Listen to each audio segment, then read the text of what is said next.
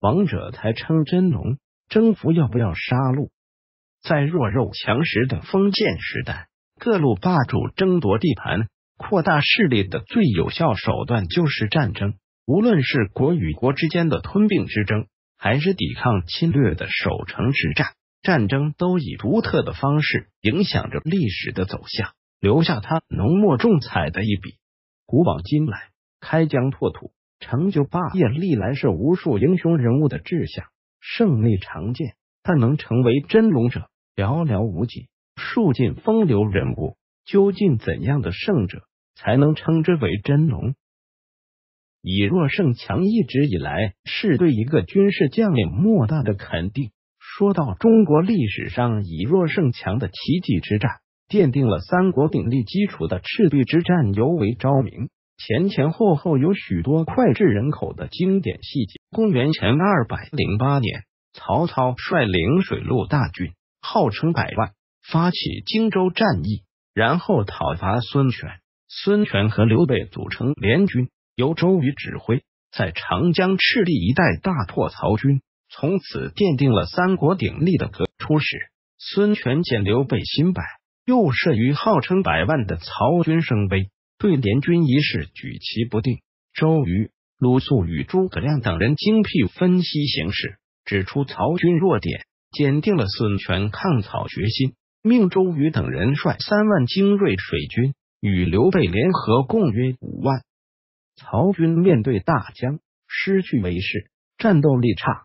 曹操下令将战船相连，减弱颠簸。周瑜鉴于敌众极寡，决意寻机速战。不讲黄盖针对曹军连环船的弱点，建议火攻，得到赞许。黄盖假意投降，拉开了火烧赤壁的序幕。赤壁大战后，刘备乘胜取得武陵、长沙、桂阳、零陵等四郡，次年又任荆州牧，奠定了壮大发展、进据益州的基础。曹操吸取失败教训，大兴水军，进控江淮。与孙权对峙，孙权为抗曹，继续与刘备联盟，任其在荆州发展，三国鼎立格局逐渐形成。这天下战役，不是恃强凌弱，便是以寡敌众，以胜以负，乃兵家常事。战争的胜利不仅仅展现着战法的锋芒，还闪烁着军事家的智慧。纵观历代。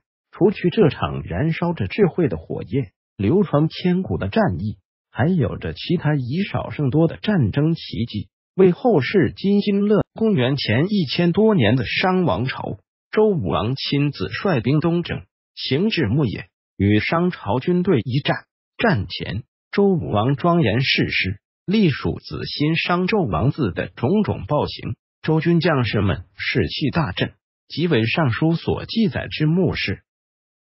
此新经闻昭军来袭，因商军主力远在东南，无法立时征调，便仓促武装大批奴隶、战俘，连同军队一起迎战。据文献记载，地心出动的兵力有十七万人，远远多于周军的四万余。周军先由吕尚率数百名精兵上前挑战，震慑商军，并冲乱其阵脚，然后周武王亲率主力跟进冲杀。将对方的阵型彻底打乱，商军中的奴隶和战俘全无斗志，纷纷倒戈。子欣见大势已去，自焚而死。被俘的一百多位商朝大臣被带回周京，作为武王祭祖的人生被杀死。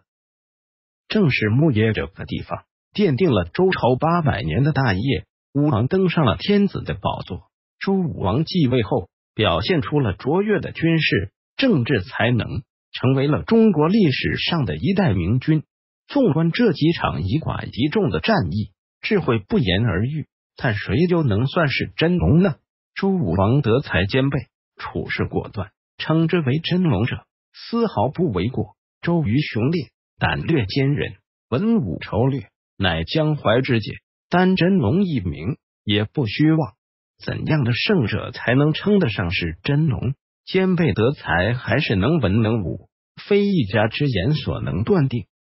就好像在迄今为止最讲究平衡和策略性的策略游戏《真龙霸业》，真龙霸业三月八日全平台开测，在这里你可以开疆扩土，征服异族，成就霸业，为华夏而征服。那么你会用什么方式来成为你心目中的真孝抽？看真龙霸业爆笑盘点中外战役，点击阅读原文即可下载游戏。